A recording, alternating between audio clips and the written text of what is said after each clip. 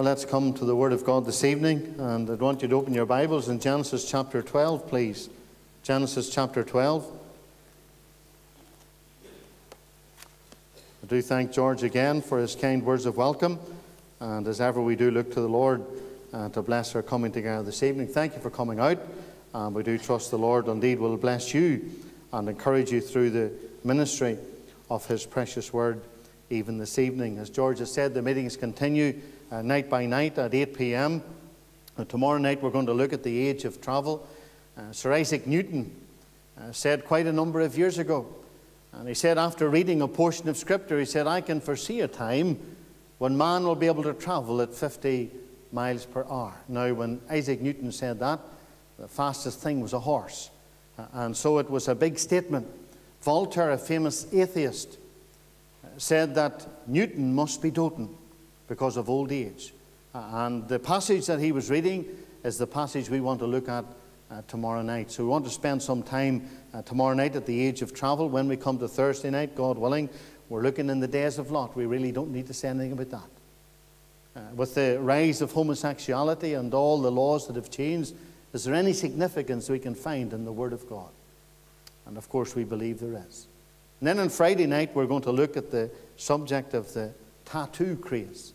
Uh, even our former Prime Minister's wife had a tattoo on her ankle, uh, such as the phenomenon in the day and age in which we're living. And again, we want to see if there's any relevance or any teaching from the Word of God concerning that particular uh, subject. So that's what we hope to do uh, over the next few nights, God willing. Tonight, we want to look at the subject of the root cause of anti Semitism, the rise of anti Semitism, whatever way we want uh, to put it this evening. Let's read in Genesis chapter 12. I'm beginning to read at verse number 1.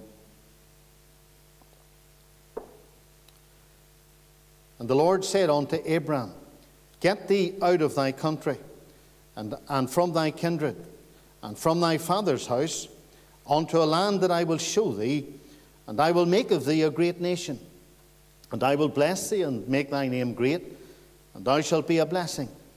And I will bless them that bless thee, and curse him that curseth thee. And in thee shall all the families of the earth be blessed. We'll end there, and we do trust the Lord will bless the reading of his own precious, infallible, and inerrant word to our hearts again this evening. There was a survey carried out very recently. It's believed to be the biggest survey ever uh, carried out on the subject we're looking at this evening. Uh, thousands and thousands were interviewed.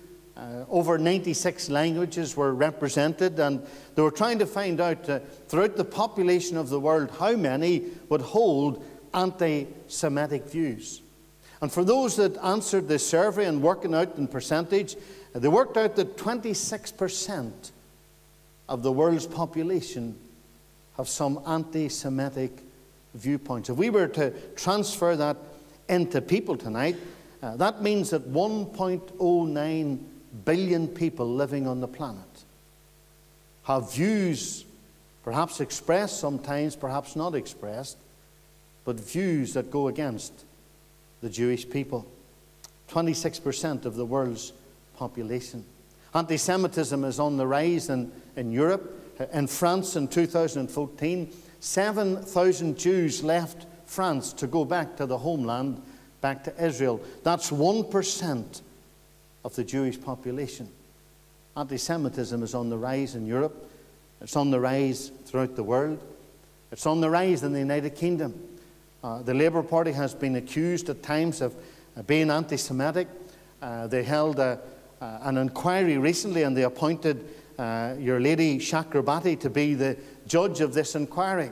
A little known to uh, those that, uh, before she carried it out, that she'd been offered a peerage. Uh, and so when she said that there was no real evidence of, a, of widespread anti Semitism in the Labour Party, well, it looked just like a whitewash. I don't know whether it was or not, but that's certainly what it looked like. But we don't have to go to the United Kingdom, the mainland. We don't have to go to Europe. We only have to go to Northern Ireland this evening. I remember a couple of years ago in Castle Court in Belfast, if you've ever been in the shopping centre, along the, the bottom floor, sometimes there are those who set up these little stalls.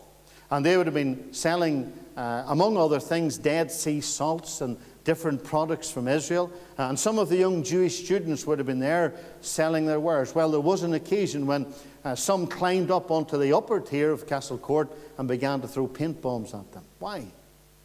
Why did they do uh, such a thing? Our, one of our councils, the Derry and Strabane uh, Council, have passed a motion recently uh, that they will not buy anything that's produced in the land of Israel.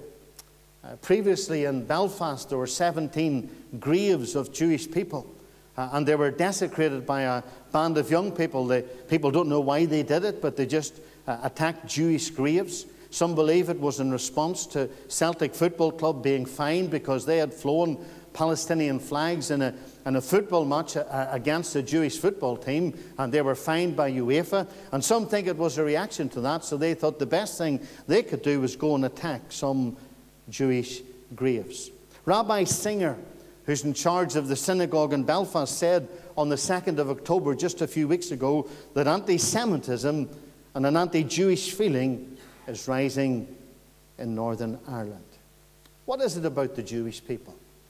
Because this hatred for the Jews, this anti Semitism, and you can read the websites on it, you can go to Wikipedia and you'll see that practically every country in the world, every country in the world, has incidents of anti Semitic behavior.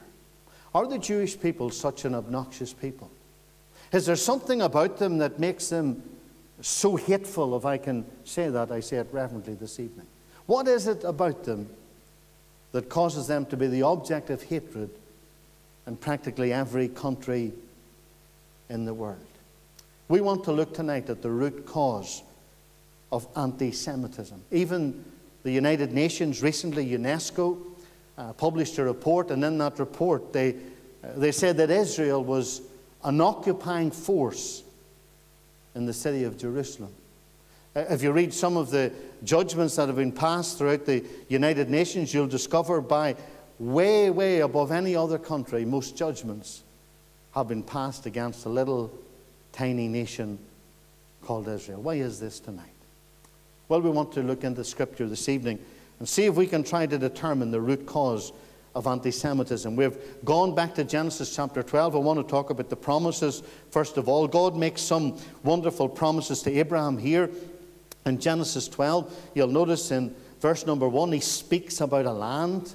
In verse number 2, he says, I will make of thee a great nation, and I will bless thee, and I will make thy name great, and thou shalt be a blessing. He promises Abraham three things. He says, I'm going to give you a land, you're going to become a great nation, and you're going to become a blessing. Indeed, they will become a blessing uh, to the world. This promise was reiterated in Genesis 15, verse 18. In the same day, the Lord made a covenant with Abraham, saying, Unto thy seed have I given this land from the river Egypt unto the great river, the river Euphrates. And there God identifies the land geographically. Uh, and he says, Abraham, I have given thee this land. And so God gave them a land. In Genesis 13 and verse 15, God says, For all the land which thou seest, to thee will I give it, and to thy seed forever. God said, This land, designated borders, this geographical piece of land, I'm giving it to Abraham and to the nation that will come from Abraham and his descendants. That Abrahamic covenant, the promise of the land, was passed on to uh, Abraham's son Isaac in Genesis 26, verses 2 and 3. It was then passed on to Isaac's son Jacob uh, in Genesis 28, verse uh, 13. Uh, and so that promise has been carried down throughout the nation of Israel. Israel uh, has never possessed all the territory that God promised to them, but I believe in a day yet to come they will possess the land in its entirety. But God also said something else to Israel. God says, If you're disobedient, I will put you out of the land and I will scatter you throughout the world. That's exactly what the Lord did. For instance, Deuteronomy 28, verse 25. The Lord shall cause thee to be smitten before thine enemies, and thou shalt go out one way against them and flee seven ways before them, and shalt be removed unto all the kingdoms of the earth. God says, I'm going to scatter you. If you disobey my word and you disobey the commandments of the Lord. But that never annulled God's agreement with Israel. Yes, in disobedience they were out of the land, but God has promised them this land. And this is a land that has been promised to Israel. Promised a land, the promise there'd be a blessing. They were promised a king, and a king one day will come and reign in that land, and his name will be Jesus Christ. We'll say a bit more about that in a moment. You know, when the Lord Jesus Christ was born in Bethlehem, in Luke 1, verse 32, uh, we read this The angel said, He shall be great and shall be called the Son of the Highest, and the Lord God shall give unto him the throne of his father David. You know, he didn't take the throne of his father David when he came the first time. He wasn't given a throne, he was nailed to a cross. But when the Lord Jesus Christ comes again, he's going to occupy the throne of his father David.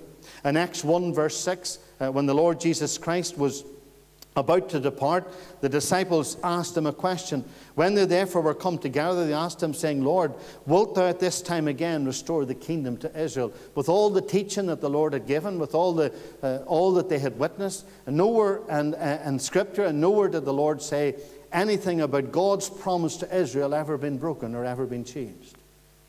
And the disciples fully expected that Israel would have their land and that they would have a king. That's what God has promised to them. When we get into some other Old Testament scriptures, for instance, Isaiah 11, verse 1, it says, There shall come forth a rod out of the stem of Jesse, and a branch shall grow out of his roots. Again, in the same chapter, with, with righteousness shall he judge the poor, and reprove with equity for the meek of the earth. And he shall smite the earth with the rod of his mouth, and with the breath of his lips shall he slay the wicked. And the righteousness shall be the girdle of his loins, the faithfulness and faithfulness the girdle of his reins. The wolf shall dwell with the lion, and the leopard shall lie down with the kid, the calf and the young lion and the fatling together, and the little child shall lead them. This has never happened. And for this to happen, as the Word of God has said, the Lord Jesus will have to come back. He'll have to establish his throne and reign for a thousand years. We read about it in Revelation chapter 20 during his millennial kingdom. For that to happen, Israel needs to be in the land, and the Lord Jesus will come and set up his throne in Israel, and Israel will be the capital of the world. So, Israel in the past has been important in Scripture, Israel in the present is important, and Israel in the future will be important. 70% of Scripture is the story of Israel. Israel will be at the center stage of events and end times. That's why Israel is so important. That's why it's important we keep our eye on Israel. And when we see a, a growing interest in Israel and in the Jewish people, then we realize that Jesus Christ is coming. And he's coming very soon. I just wanted to say something about the promises. God has promised them the land. It's their land tonight. Yes, they're in it. God has promised it to them. God has promised that a king will reign in righteousness, and the Lord Jesus Christ will come and he will rule and he will reign, and he'll reign from Jerusalem in a day yet to come. Remember the promises tonight. Let me say something about the persecution tonight. And I'm going to mention a number who persecute, have persecuted the Jews down through history, and some indeed continues to this day, and, and give you a reason why, and show you a little bit of the theology behind it. You see, perhaps one of the greatest persecutions, and this is no surprise, comes from Islam tonight. Even though Jerusalem is not mentioned once in the Quran, nor is Palestine nor Canaan, uh, when Jerusalem was under Arab control, it was never the object of a religious pilgrimage for, for Islam. But tonight it's called the third holiest site uh, among Islamic people after Mecca and Medina. It was claimed that uh, Muhammad went back to heaven from the Dome of the Rock in Israel. Uh, this wasn't claimed until uh, between somewhere between 19 and 20 and 19 and 30. It was promoted by Yasser Arafat's uncle, uh, and they claim, they claim that this is one of their most holiest sites. And there's a reason behind it because they want to hold on uh, to the Temple Mount where God's temple once stood. But there's another reason tonight. You see, when we go back into the history of Abraham, we discover that there was a time when Abraham went down into Egypt. And Abraham brought someone out of Egypt uh, and that someone was a lady called Hagar. And you know the story of Abraham and Sarah and how God had promised them a seed, but they became impatient. They became impatient with God, and Sarah says, Go into Hagar and have a child by Hagar. And maybe this is the promised one that is to come from God. And of course, Hagar got pregnant, and Hagar had a son called Ishmael. But that was never the one that was chosen by God. Then Abraham and Sarah had a child, the child called Isaac, and we know already from Scripture that God said the promises passed down through Isaac and then through his seed right down to the nation of Israel. But as far as the Arab nations are concerned tonight, Ishmael is the chosen one. And Ishmael is the father of the Arab nations tonight. And so they say uh, if the land was to go to Abraham's son, promised by God that the land is theirs tonight and it doesn't belong to Israel. And because of Abraham's backsliding, there's still trouble in the Middle East tonight. Let me say tonight backsliding is a serious thing for a child of God. And if you're not where you should be with the Lord tonight, you need to get right with the Lord because it doesn't just affect you, it affects other people. And we know that the Jews have known persecution from Islam. The Jewish people have known persecution from Catholicism. You see, the Roman Catholic Church claims to be the new Israel. They say they have replaced Israel, uh, and therefore Israel have no right to the land. And when the Crusaders went out into uh, Jerusalem and into the Promised Land, they, uh, they were not only driving out the Turks, but thousands of Jews were persecuted and slaughtered by the Roman Catholic Crusaders. And down through history, Catholicism has been one who has persecuted the Jewish people. Many Jewish people have lost their lives at the hand of the Church of Rome. In 1243, an entire Jewish population of Beelitz near Berlin were burned alive because it was said they had defiled a consecrated host. 1298, every Jew in Röttingen was burned to death on the charge of desecrating a sacramental wafer. In Deggendorf, uh, again in Germany, an entire Jewish community were slaughtered for stealing and torturing a consecrated wafer. And on the church, on the Roman Catholic Church, they hang up a sign which said, God grant that our fatherland be forever free from this hellish scum. And right up until today, the Church of Rome claims to be New Israel and claims to be the successor to Israel, and therefore the land doesn't belong to uh, the church, the land doesn't belong to Israel, uh, the land doesn't necessarily belong to the Palestinian. But they say that the Jews have no right uh, to the land. And we could mention other things about that this evening. Islam has persecuted Jews. Catholicism. What about Protestantism? Well, their hands are not clean tonight. Indeed, if we go back to the time of the Reformation, there was much that Martin Luther did, which was good, and we have to thank God for him, for reclaiming the gospel, and for the five solas which we would hold dear to our hearts this evening. Uh, but Martin Luther brought some of this Roman Catholic theology with him. And he brought with him a, a theology that's known as replacement theology. And the teaching is very simple that the church has replaced Israel. And because of how the Jews had treated Christ, there were some who felt it was right then for Jews to be persecuted and treated horribly. And this permeated much of Protestantism for many years. In fact, John MacArthur has written a paper on it, uh, and he would suggest that when it came to the time of Hitler in Germany, it was so easy for him to, to annihilate the Jews because this teaching had been ingrained in many of the Protestant people in Hitler's Germany. As I say, Protestants haven't their hands clean tonight either when it comes to the treatment of Israel. This carries on today to a greater or lesser extent than some of the churches. The Church of Scotland had a meeting in May 2013, uh, and they declared that Israel has no special right to the land of Israel to the land of Palestine. In spite of what the Word of God teaches, it seems the Church of Scotland knows better than the Word of God. And they say the Jews have no special claim upon the land.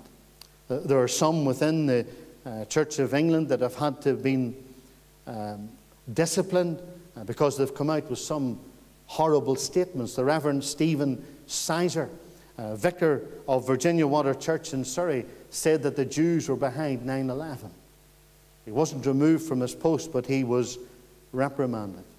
And so there's been a, a history, a history of anti Semitism going down through the centuries, right until this modern age.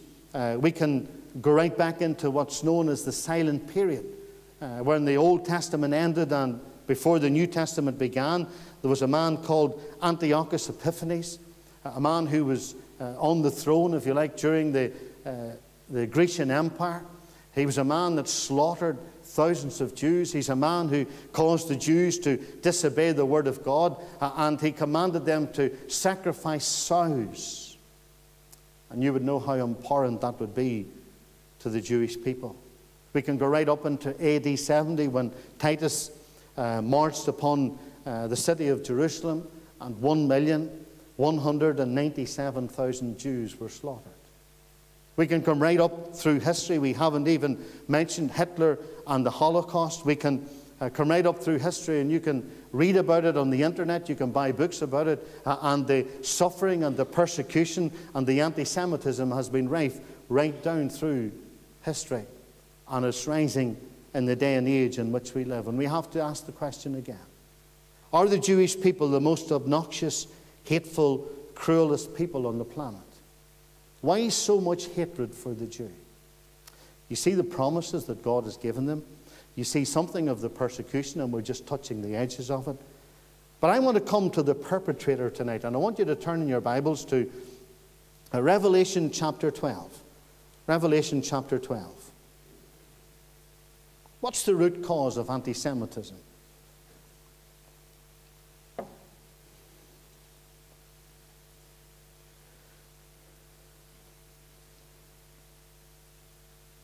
Revelation chapter 12, verse 1.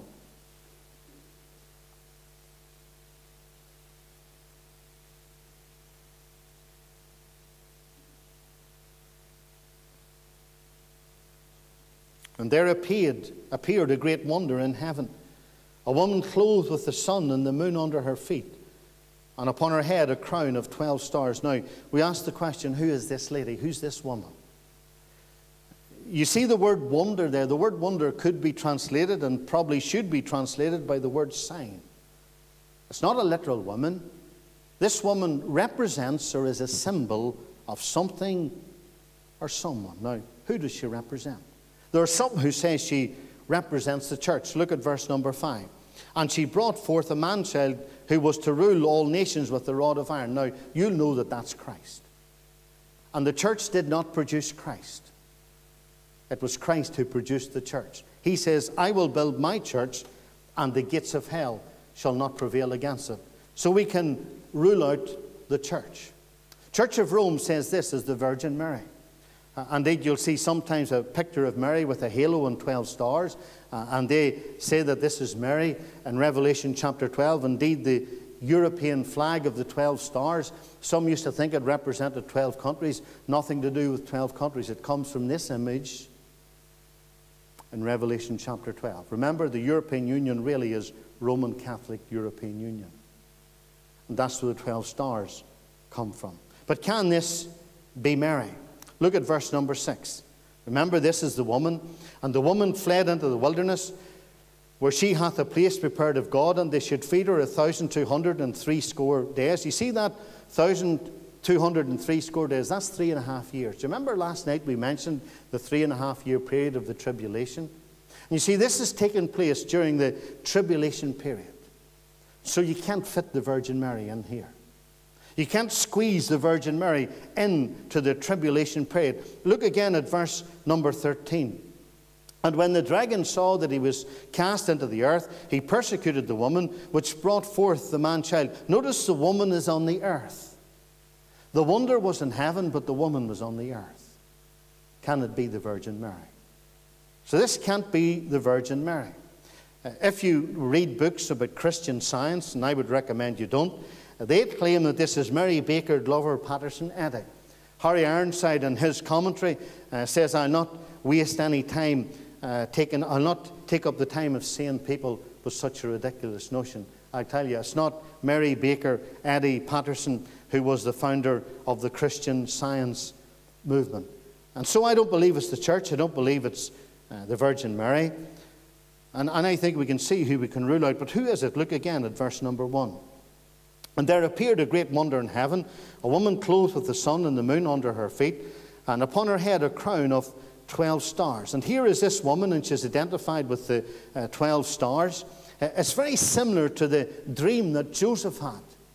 And remember when Joseph told the dream, the, the dream was related very much to Israel in Genesis 37, verse 9. And he dreamed yet another dream and told it to his brethren. I have dreamed a dream, and behold, the sun and moon and the 11 stars made obedience unto me. And Joseph is a wonderful type of Christ.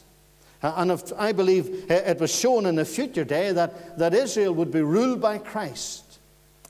But I think there's more uh, would uh, confirm to us this evening uh, who it is. I believe this woman is Israel. If you look back into chapter 11, verse 19, you'll see that the Lord talks about the temple. Uh, the temple of God was opened in heaven, and there was seen in this temple the ark of his testament. You have the temple, you have the ark of the covenant, and you can see God's beginning to speak uh, about uh, Jewish things. Look again in Revelation 12 uh, verse 2 And she, being with child, cried, travailing in birth, and pain to be delivered. Israel is pictured as a pregnant woman crying out in pain as she brings forth this child. Now, we know uh, that Christ would be of the seed of a woman from Genesis chapter 3.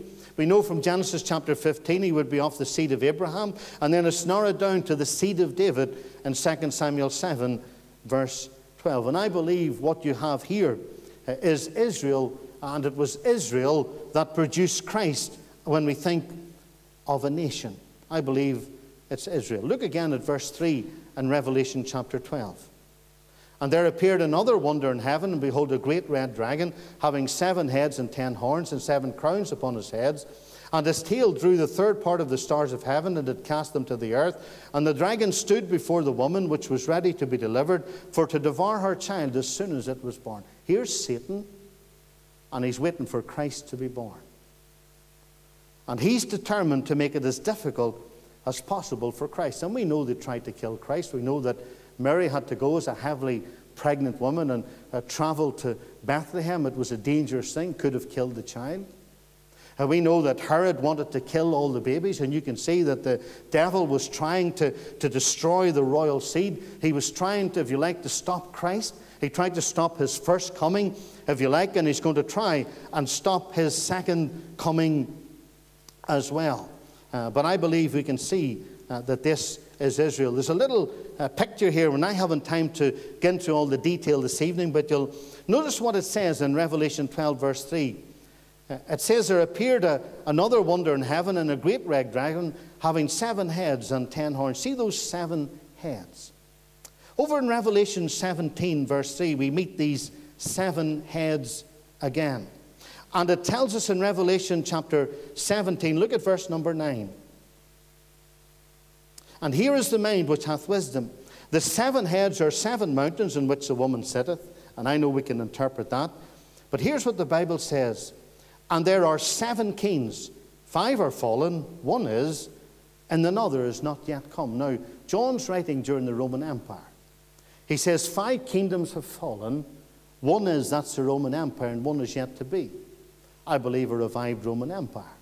That's the time that Antichrist is going to rule and reign over the earth. But I want you to keep in mind these seven kings and come back to Revelation chapter 12.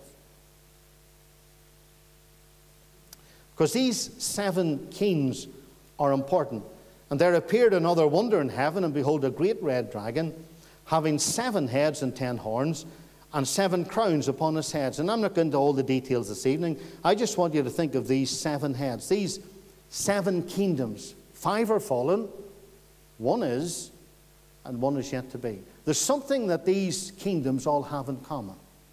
These kingdoms all persecuted Israel. The first kingdom is Egypt. And you go back and you know the history, how the nation of Israel uh, were come into Egypt during Joseph's time. And you know how Pharaoh persecuted uh, Israel when they were in Egypt. And that was the first kingdom. Then the second kingdom was Assyria. And during the reign of Hezekiah, Hezekiah was, uh, was childless. And remember, the, the seed was going to come through, the royal seed was going to have to come through the king. Hezekiah was childless. Assyria had besieged the city. If Hezekiah had been destroyed, and I speak humanly speaking, there could have been no Messiah. You see, the devil tried through Pharaoh to destroy the children of Israel, that the Messiah would never come. Satan tried again through the Assyrians to try and wipe out the royal seed. Number three would be the Babylonish Empire. And we know the Babylonish Empire picked the cream uh, of the Jewish children. Daniel was one of them and brought them into Babylon and tried to indoctrinate them that they may pollute the royal seed, that the seed may be lost. After the Babylonish Empire came the Medo Persian Empire. And again, that's the days of Esther. And you know what happened during the days of Esther. You will know from Esther 3, verse 6, that Haman sought to destroy all the Jews. And again, the devil tried to wipe out the Jews. Why? Because he wanted to wipe out Christ. He didn't want the Messiah to come. And so he used the Egyptian kingdom, that was number one. He used the Assyrians, number two. He used the Babylons, number three. He used the Medo Persians, number four. And then, of course, he used the Grecian Empire, which followed. And those were the days of Antiochus Epiphanes, which we've already mentioned, when he slaughtered thousands and thousands of Jewish people. Then we come to John's day, the sixth one, the one that now is. And that was the Roman Empire. It was Caesar Augustus who gave the decree that all the world was to be taxed, and a heavily pregnant Mary had to travel on a donkey to Bethlehem. It was Herod during the reign of the Roman Empire who, who sought to have all the babies drowned and destroyed. Again, that Messiah may be destroyed. And when we come to the seventh great kingdom, that's going to be a revived Roman Empire, I believe, and I believe we see the framework of it in the European Union. That's not my subject this evening, but I believe they too will persecute Israel. Now, if you're still in Revelation 12, look at verse number 5. And she brought forth a man child, this is Israel, who was to rule all nations with a rod of iron, and her child was caught up to God and to his throne. She brought forth a child. The devil couldn't stop the incarnation, couldn't stop it. Because God's in the throne. When the fullness of time was come, God sent forth a son made of a woman, made under the law. And of course, you, you see also in verse number five, who was to rule all nations with a rod of iron. You know, this takes us into his millennial kingdom. The devil couldn't stop his incarnation, and the devil won't stop his coronation but that doesn't stop him trying. You see, what the devil is trying to do, he sought to try and stop Christ uh, coming the first time. He wants to try and thwart, thwart Christ uh, coming uh, the second time. Uh, but of course, he's going to fail, but that won't uh, hinder him uh, from trying. Now, look at verse number 6 in Revelation chapter 12. We're looking at this woman who I believe is Israel. And the woman fled into the wilderness where she had a place prepared of God that they should feed her a thousand two hundred and three score days. Again, that's the uh, three and a half year period, and I believe God is going to uh, protect Israel during the tribulation period. Look at verse number seven. There was war in heaven. Michael and his angels fought against the dragon, and the dragon fought and his angels. And of course, the dragon is Satan. Uh, there's going to be a war in heaven. He, he's going to be kicked out of heaven. Uh, verse number eight and he prevailed not, neither was there place found any more in heaven. He's defeated. Look at verse number 9. And the great red the great dragon was cast out, that old serpent called the devil and Satan, which deceiveth the whole world. He was cast out into the earth, and his angels were cast out with him. And of course, the devil's not happy. Uh, we know from verse number 12 in Revelation chapter 12, he realizes he has a short time.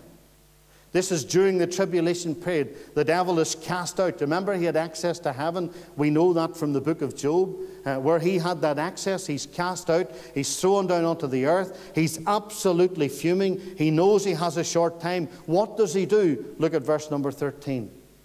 And when the dragon saw that he was cast onto the earth, he persecuted the woman which brought forth the man child. See the word persecuted? It means to hound, to hunt, to flee after.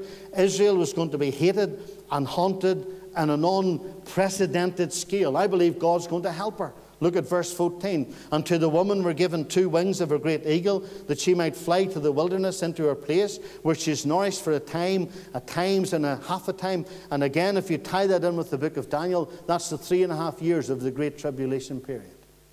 But I want you to see during the tribulation period, Satan is cast down out of heaven. He's on the earth, the place in heaven he had access to. He's thrown onto the earth. He's absolutely furious. And he turns up the heat, and he turns up the heat on Israel. And this is the last throw of the dice for the devil. If he can wipe out Israel, if he can take them off the face of the earth, then Christ has no people to rule and reign and Christ will have no land to reign over.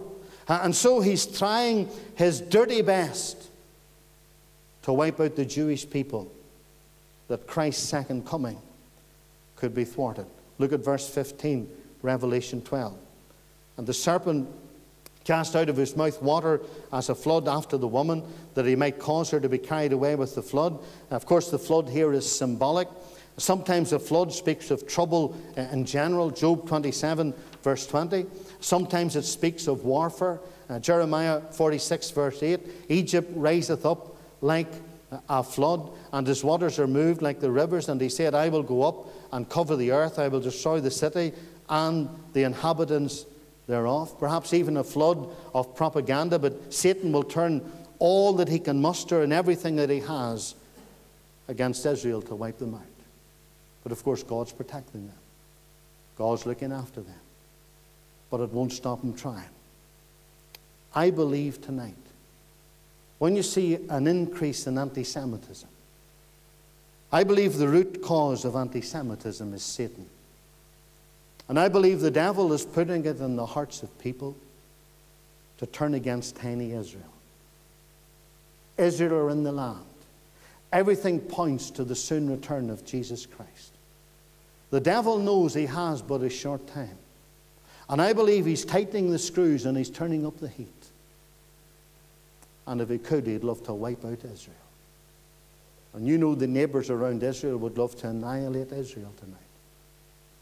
If you've ever watched the BBC Question Time, sometimes I watch it and you get the politicians, and when a question comes up about Israel, you can nearly hear the devil hissing you could nearly touch the hatred that there is for Israel. And as we see a rise in anti Semitism, even in our own province, I believe the devil is turning up the heat because he believes that Jesus Christ is coming and is coming soon.